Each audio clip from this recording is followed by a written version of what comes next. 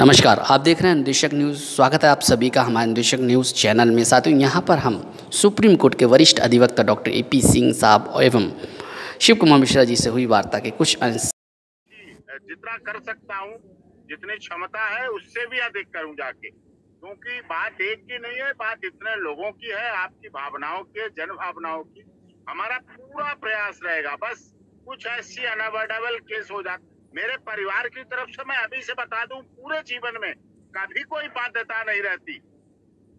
सामाजिक जीवन में भी बाध्यता नहीं रहती। बस कोर्ट के, क्योंकि ऑनरेबल सुप्रीम कोर्ट में वकालत करता हूँ, वहाँ ये नहीं को पसंद करते हैं ऑनरेबल सुप्रीम कोर्ट के ऑनरेबल जजेस कि आप हाई कोर्ट गए और हमें छोड़ गए। ये उन्हें लगता है कि तो मेरा मान सम्मान बहुत खराब हो गया।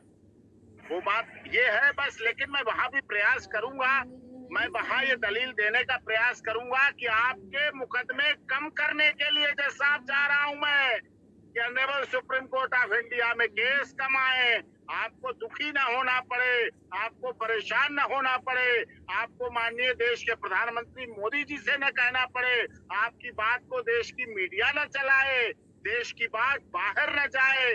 दुनिया में न जाए, हमारी न्याय की व्यवस्था की हँसी न बने, इन सब समस्याओं के लिए मैं वहाँ जा रहा हूँ और किसी के लिए थोड़ी जा रहा हूँ वहाँ। तो मेरा प्रयास पूरा रहेगा कि आपकी आपके केस लेवल हाई कोर्ट में पेश हूँ बस थोड़ी सी ऐसी समस्या हो जाती है। एक्चुअली आप ही हैं मीडिया वाले, आप ही चैनल वाले हैं।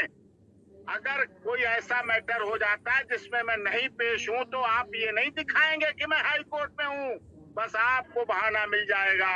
डॉक्टर ए पी सिंह जानबूझ के नहीं है जानबूझ कर उपस्थित है। जस्टिस डिले करना चाहते हैं ये उनकी टैक्टिस है ये उनका पैतरा है ये उनका ये तरीका आप ही लोग होते हैं हमारे पीछे से रिकॉर्डिंग करने वाले। ये तो सब आप झेल चुके हैं। तो आप परिपक्व हो गए परिपक्व हो गए। हाँ ये सब तो बस इसी समय तो आपसे डर लगता है।